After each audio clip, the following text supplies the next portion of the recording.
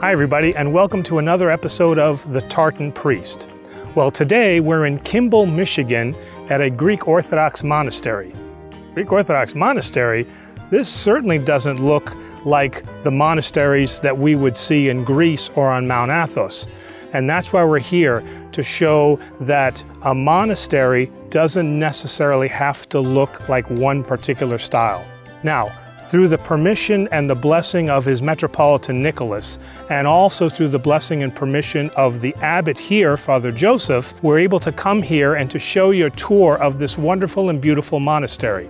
Now, this particular monastery is a wonderful example of how monastics will not destroy what is existing so that they can build up something that looks like a monastery, but instead what they have done is they've used an existing structure that was already here and they have built their monastic community in harmony and in concert with the nature around them.